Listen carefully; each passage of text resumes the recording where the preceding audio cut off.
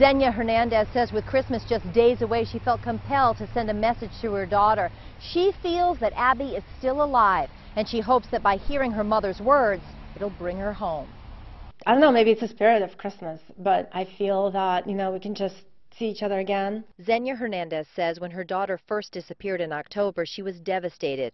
But with time has come a new sense of hope. She says a letter she received in November was a turning point for her. Frankly, did not know if she was alive or not. Um, and so, I mean, I had all these many theories, and so, but a lot of them were pretty dark. I mean, I worried about this and worried about that.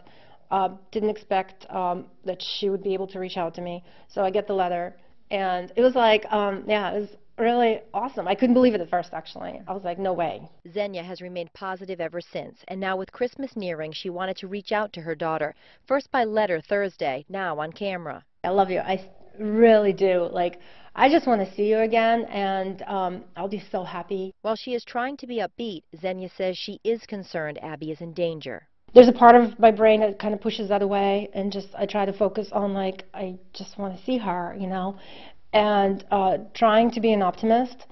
And I generally am an optimist, but definitely I'm very concerned uh, and worried.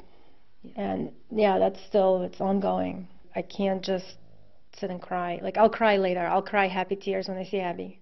Zenya says that she's trying to focus on the positive, and she wants Abby to know that no matter where she is or what has happened, she can always come home. Reporting in Conway, Heather Hamill, WMUR News 9.